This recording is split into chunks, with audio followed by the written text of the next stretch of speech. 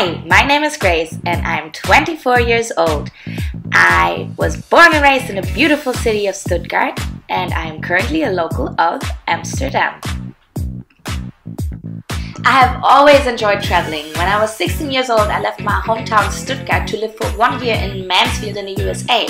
After that, my journey took me all the way down to Cape Town in South Africa before actually coming to Amsterdam. During my journey, what struck me the most were all the amazing people from different countries with different backgrounds I met along the way. I love to dive into foreign cultures and to learn more about our global society. My curiosity and excitement for culture has brought me to where I am now.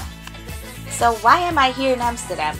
I am a reviewer at the Dutch startup Roamler. If you want to find out more, just ask Google your best friend.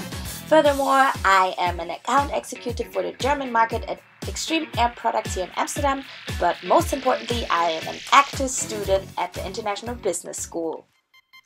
Got skills? Oh, yes, I do. I'm not only bilingual, I'm also going to Mexico for my exchange semester to master the Spanish language, and I'm currently learning Dutch, I'm fluent in English and in German. Inside my bones.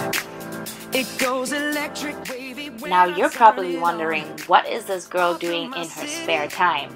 Well, let me tell you about this. I love to dance. When we in our zone, I got that sunshine in my pocket, got that good soul in my feet. I feel that hot blood in my body when it drops. Ooh, I can't take my eyes off of it, moving so phenomenal. And I love food. I love eating out and I love cooking. You could say food is my passion. And as you could probably tell until now, traveling is also pretty high on my list of favorite things to do.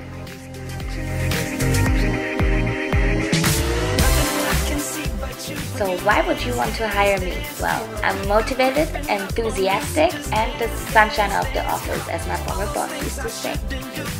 So open up your laptop and send an email to grace.williams at gmx.de or simply give me a call. I hope you enjoyed this video and for further questions, you've got my number. So